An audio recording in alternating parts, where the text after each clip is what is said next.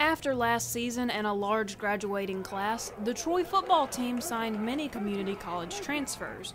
One part of the team that is greatly benefiting from this is the defense. Starting off with our defense going in, I think, uh, you know, when we reported, we had a lot of new faces. Uh, you know, we got a lot of uh, newcomers that, uh, that joined us this summer.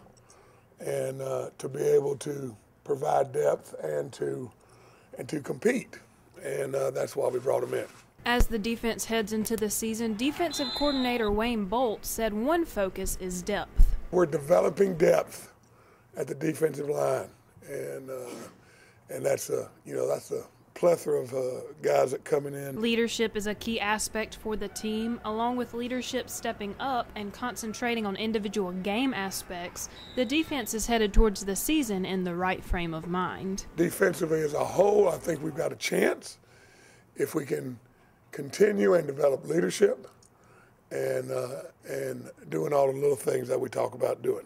As the players and coaches prepare for upcoming games, the defense is fighting to accomplish every goal for the season ahead. Our kids are fighting through it, and I'm very, very proud, proud of them. I'm proud of our coaches. Our coaches have done a great job. Randy Butler, Dustin Landry, and Al Pogue. Amy Austin, Troy, Trojan Vision Sports.